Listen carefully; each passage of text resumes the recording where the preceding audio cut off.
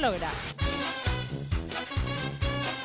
Desde hoy prometo que en, en los ensayos y sobre la tarima voy a estar puesta la camiseta de chica sexy. El problema ahora es mío, porque se le ve tan sexy que me distraigo en los ensayos.